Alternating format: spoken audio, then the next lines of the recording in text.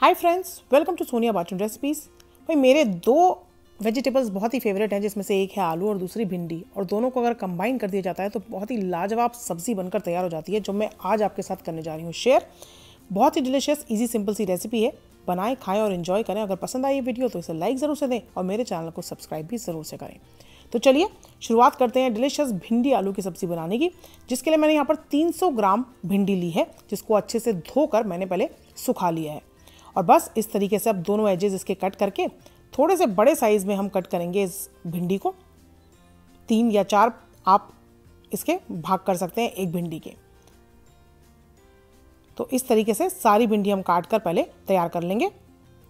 ये देखिए तो भिंडी बिल्कुल ड्राई है क्योंकि हमने इसको धोकर सुखा लिया था। तो भिंडी हमने काट कर तैयार कर ली सेम इसी तरीके से अब हम आलू भी काट कर तैयार कर लेंगे। तो मैं दो बड़े साइज़ के ये आलू ले रही हूँ। जिसको पहले स्क्रेप कर लेंगे, उसके बाद अच्छे से इसको धोकर पानी में ही काट कर इसको रख लेंगे हम। बस ये ध्यान रखेंगे हम कि थोड़े से बड़े साइज़ रखेंगे इसका, जिससे कि जब हम इसको फ्राई करें और उसके बाद इसको करी में पकाएँ तो आलू जो हमारे टूटने ना लगे।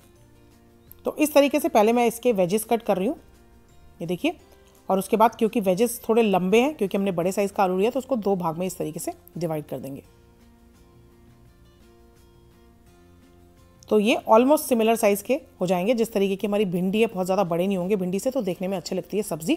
साथ में मैंने ये लिए हैं अनियन बल्ब्स डेढ़ मीडियम साइज़ के प्याज के, ये अनियन बल्ब हमने निकाल कर रख लिए हैं। अब बस तेल गर्म कर लिए हमने यहाँ पर, चार से पाँच टेबल स्पून के करीब, जिसमें हम स्टर फ्राई करेंगे पहले आलू को। जब तक ये आलू हमारे अच्छे सुनहरे नहीं हो जाते क्रिस्पी सी गोल्डन ब्राउन कोटिंग नहीं आ जाती इस पर इस तरीके से इस प्रोसेस में क्या है, हमारे आलू जो है पार्शली कुक भी हो जाते हैं। हल्की सी जो कसर रह जाएगी आलू में, वो जब हम उसको ग्रेवी में डालकर बनाएँगे, पकाएँगे, तब वो हमारे कम्प्लीटली सॉफ्ट हो जाएँगे। तो बस, जब ये आलू इस तरीके से आपको सुनहरे नज़र आने लगे तो आप इसको निकाल लें। और उसके बाद सेम तेल में ही हम स्टर फ्राई करेंगे भिंडी को। तो भिंडी को यहाँ पर हमें ओवर कुक नहीं करना है, क्योंकि अगर हम यहाँ पर भिंडी को ओवर कुक कर लेंगे तो ग्रेवी में जब डालेंगे तो भिंडी बिल्कुल सॉगी हो जाएगी, बिल्कुल सॉफ्ट हो जाएगी मशी सी, जो हमें नहीं चाहिए।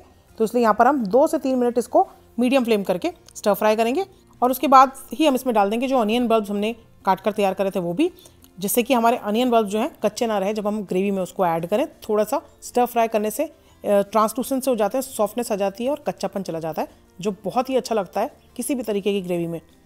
तो बस ये हमने स्टर फ्राई कर लिया उसके बाद ये तीन टेबलस्पून के करीब तेल लिया, जिसमें एक चम्मच डाला है ज़ीरा, और साथ में इसमें डाल दी हमने डेढ़ मीडियम साइज़ की चॉप की हुई प्याज। तो आप सेम तेल का इस्तेमाल कर सकते हैं, जो आपने फ्राई करने के लिए इस्तेमाल करा है। प्याज जब तक सुनहरी ना हो, तब तक हम इसको इसी तरीके से मीडियम फ्लेम पे लगातार चलाते हुए स्टर फ्राई करेंगे। जब प्याज हमारी इस तरीके से सुनहरी हो जाएगी तो इसमें जाएगा एक चम्मच अदरक लहसन का पेस्ट और इसको भून लेंगे अदरक लहसन के पेस्ट को प्याज के साथ, ताकि रॉ स्मेल ना आए उसकी ग्रेवी में।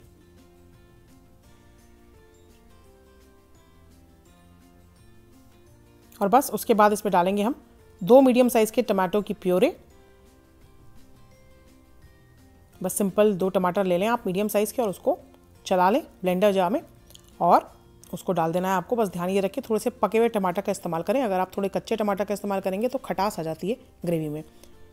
हल्का सा इसमें डाल दिया हमने पानी भी, साथ में डाला है नमक और दो चम्मच कश्मीरी लाल मिर्च पाउडर, दो चम्मच धनिया पाउडर और वन फोर टीस्पून हल्दी।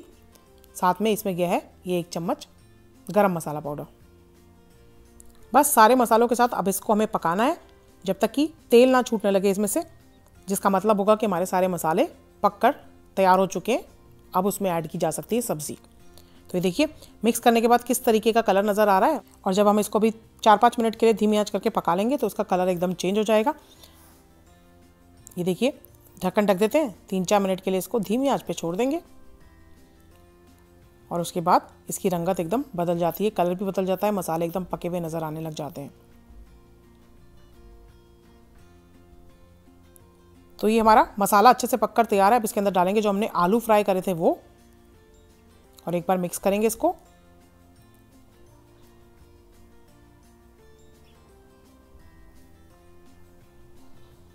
और इस टाइम पे हम इसमें डालेंगे थोड़ा सा पानी, एक तिहाई कप के करीब। उतना जितना हमें ग्रेवी की कंसिस्टेंसी चाहिए।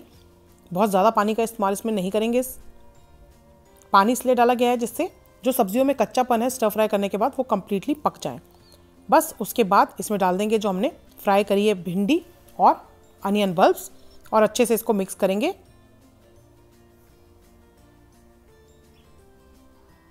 ये देखिए, इसको अच्छे से मिक्स करने के बाद भी ग्रेवी हमारी अच्छी थिकनेस नज़र आ रही है, और अब हम इसको ढक्कन ढक के पका लेंगे, ताकि सारी जो चीज़ें हमने, हल्का कच्चापन जिसमें है, वो कम्प्लीटली पक जाए। तो धीमी आँच करके पाँच सात मिनट के लिए इसको पका लेंगे।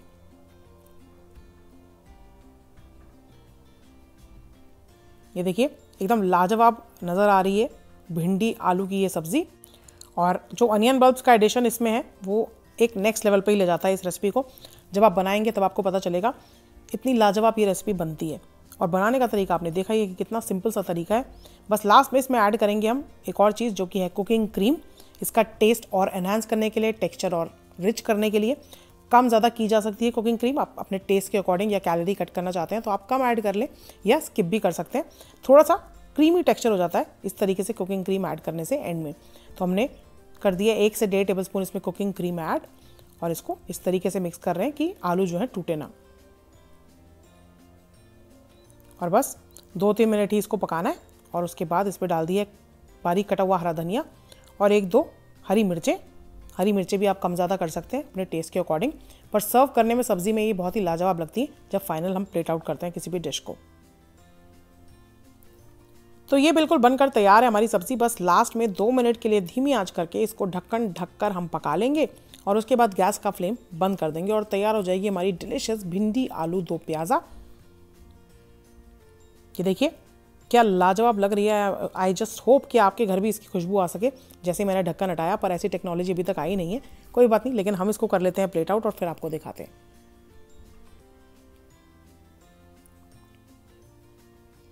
तो भाई, ये रेसिपी बहुत ही सिंपल बहुत ही अलग तरीके की तो भाई और जितनी देखने में लाजवाब लग रही है आई एम श्योर आपके मुँह में पानी आ रहा होगा, कुछ इसी तरीके की बनकर भी आती है ये। टेस्ट इसका कुछ इस तरीके का ही होता है। पर मेरी बातें सुन के आपको इसका टेस्ट इमेजिन करने की कोई ज़रूरत नहीं क्योंकि बहुत ही बेसिक से इंग्रेडिएंट से बनने वाली रेसिपी है ये, जिसे आप अभी के अभी ट्राई कर सकते हैं। और बस आप इसे जब ट्राई करें तो ज़रूर से आकर वापस मुझे कमेंट सेक्शन में लिखकर बताएँ कि किस तरीके की बनकर आई आपकी ये रेसिपी या फिर इंस्टाग्राम पर आप मुझे टैग भी कर सकते हैं, जिसकी आईडी है सोनिया अंडर बाटन जहाँ पर मैं शेयर करती हूँ चैनल से रिलेटेड सारी अपडेट्स जल्दी मिलूँगी एक और नई रेसिपी के साथ, तब तक do try this one out god bless bye take care and stay safe